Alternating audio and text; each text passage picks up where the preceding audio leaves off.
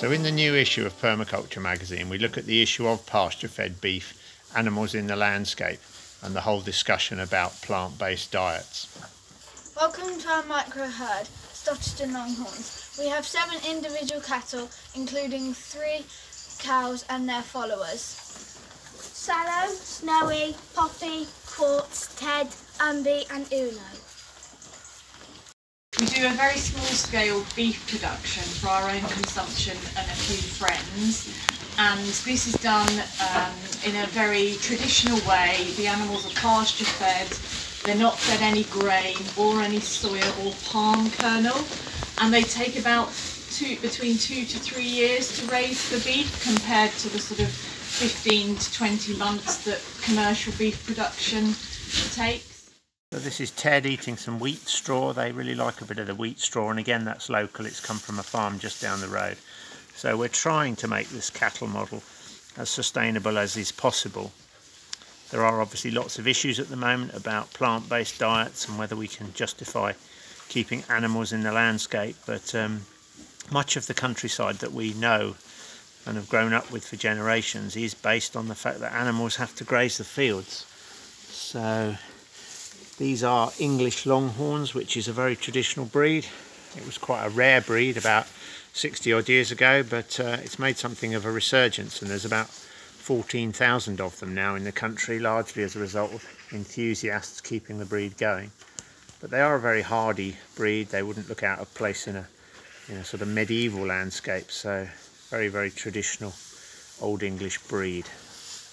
Okay, so this is the who's who of our micro herd. So this is Poppy. She's the matriarch of the herd, so she's about 10 or 11 years old now, and she's definitely the head cow. She's very, very laid back. Nothing really phases Poppy. And then next to her we've got Sallow, who was Poppy's son from two years ago. He's a very, uh, a very calm, laid back sort of chap. And then along here we've got Snowy, and Snowy is the first calf that we ever had born. She was born in the middle of the Beast from the East winter, um, and she's now in calf herself. Uh, so she'll be calving in April. So that's Snowy. So despite their slightly scary looks, Longhorns are actually very docile breed, um, which is probably their salvation really, because if they weren't uh, they weren't easy going, they could be quite a problem with a set of headgear like that. But uh, although they look scary, they are actually very, very docile and easy to handle. So uh, it certainly uh, makes keeping them a lot easier. So this is the youngsters. These are last summer's calves. Uno, and Umby. They're uh, eating their hay. So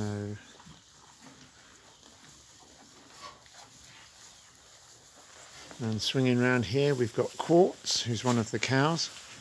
And behind her is her calf of last year. He's called Ted. so they're eating this hay. The hay's all local. It comes from about three miles away. Um, and whilst ideally they would stay out all the year round, on the heavy Shropshire clay here, they just make such a mess in the winter and would absolutely destroy the ground. So they do have to spend uh, a few weeks of the winter in this uh, nice airy shed.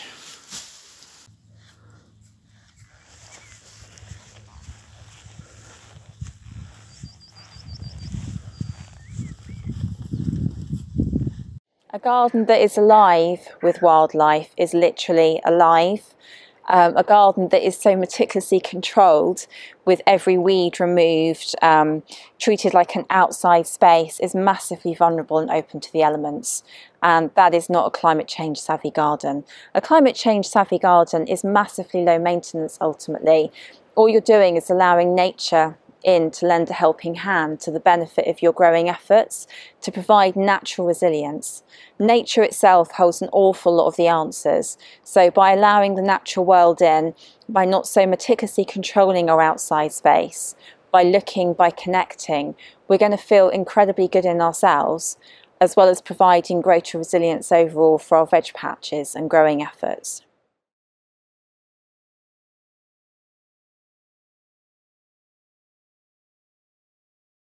Mixed planting Mixed planting is, again, there's nothing new about this. It's also called um, polyculture. Um, and it's just really a way of creating a natural biodiversity. Because in an organic gardening system, crop rotation is a way of protecting soil so you're not growing the same crops year after year and depleting soil of certain nutrients and you don't get pest build-up. But what I discovered purely through chance and experimentation is that if you have different crops from the same family sufficiently distanced apart, so if you have um, say five tomato plants, you want to have at least five foot between each of those plants. And then you have plants from different families planted equally separately apart. You use salad leaves and herbs as fillers in between. You're creating a multi layered um, biodiversity effectively that enables you to not have to think about very exacting crop rotation plans. I don't know about you, but for years with um, with the veg patch, with the polytunnels, I used to draw these very exacting plans of what went where and when and what had to follow it. And it used to make my head whirl having to be so exacting about it all. But in this more free spirited system, which is much more akin to the, the peasant gardeners of, of old, you don't have to think about that at all. You can mix plant, you can allow things to self seed, and there's much more freedom therein, and it's lower maintenance for the gardener. The reason it's um, it's also low maintenance is that it's much harder for pest or disease to move in. So, say for example, with um, one of the, well, actually one of the main reasons why I first came about this idea, I say though it's not a new idea, it's what people used to do. I was um, I was growing tomato plants and I had an issue with blight in the polytunnels where the blight, which is airborne fungus, moved from plant to plant to plant. And it occurred to me that it was because the plants were so close together that it was so easy for the, the spores to move so fast between the plants. So now with the, the system that I employ, it's it's not an issue whatsoever. And I've done trials of growing um, block planted potatoes mixed with potatoes that are mixed in with other produce, and it's really quite striking. Um, it's quite striking difference that you know I just don't get blight on the other potatoes that are mixed planted. With regards to pest and disease, um, that it's also the fact that if you think about things like mildew, if you think about, say, if you had a, a big block of carrots, big block of very impressive, um, you know, sort of probably row planted carrots, which is what you're supposed to do. This idea, if you go to any veg patch around the country, that everyone's block planting everything. But actually, with, say, the carrots, you might as well put a sign up saying carrot fly come this way because it's the smell of the leaves that help to attract the um, the carrot fly. They can smell it from it, it's more than a mile away. But actually, if you look at the idea of mixed planting, like you get in companion planting, where with, for example, with um, with carrots, you're supposed to mix in onions or marigolds or you know, to have this mixture of different plants together. It's a bit like that, just on a much bigger, more free spirited way. And if plants are, are, separated, it's much harder for whichever creature it is that wants to nibble on said plant to actually find what they're looking for. So it's much better in terms of pest control.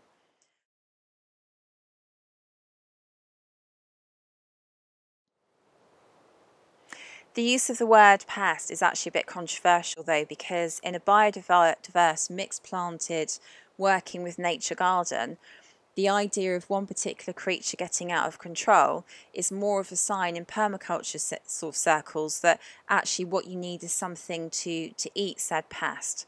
It's a sign that things are out of balance. So everything actually has its place. A slug is food for various different creatures. It's food for certain spiders will eat slugs, for, for lizards, for frogs.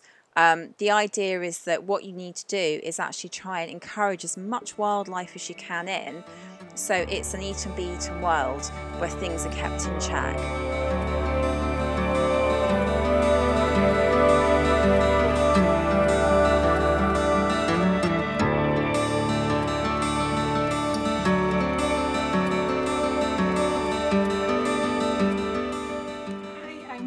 MacDonald, one of the directors of the social enterprise Farm Woodside up on the Isle of Arran.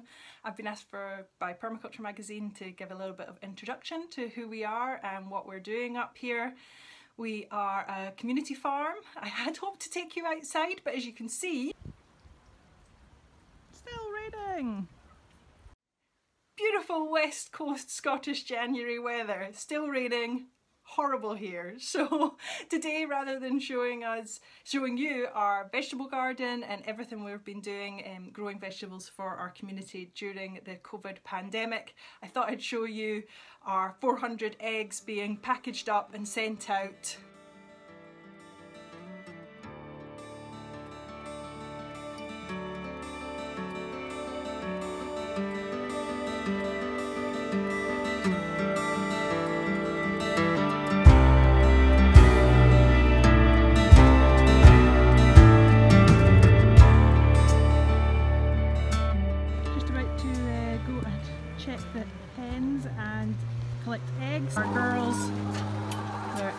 polytunnel just now, not our normal system. We're very free range normally. Oh, this girl's trying to be free range here, but she's not allowed to be because of bird flu. So at the back there, that's our Ridgedale style mobile chicken tractor which our layers normally have 13 acres of delicious gorgeous pasture that they get rotated on but due to the bird flu restrictions we've given them this extra space of a polytunnel and this is where they're hanging out at the moment trying to escape for a bid to freedom. Bless them. So that's over 400 eggs ready to go to our local high school for the key workers kids care home and some of our local shops. So, when we're not doing eggs in a miserable Scottish day, what we're trying to do here is grow as much local produce for our community as possible. Um, COVID highlighted the issues to so many communities that food really has to be grown in the locality as much as possible. Might not be getting bana bananas and mangoes here on the west coast of Scotland, but certainly lots of greens, lots of salads, lots of great vegetables to keep people going all year round. We took an unused piece of pasture um, that hadn't been used for anything other than grazing for a long time and set it up as 40 10 metre, uh, sorry, 30 metre long by 75 centimetre growing beds um, set up in a no-dig style. We did remove the top layer of grass just because we started this project the end of April, beginning of May and we wanted to get going as quickly as we could. And as you can see from some of the photos, we managed to produce over 1.3 tonnes of food, which we distributed um, either free of charge or donation, or some people even paid forward for other members of our community. And um, yeah, managed to help provide for our community, provide some seasonal jobs, and looked at the challenges people were facing in regards to COVID just in a slightly different way.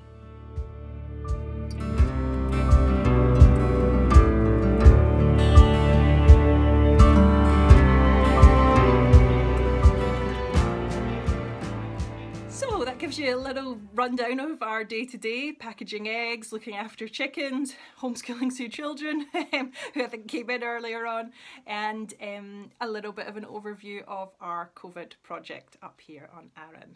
There's lots of other things going on at Woodside Arran. We've got a really exciting 2021 season ahead, more growing, different ways of distributing food in our community, our first tiny home project, which we hope to have finished and rented out. Um, so if you want to come and visit us later on in the summer.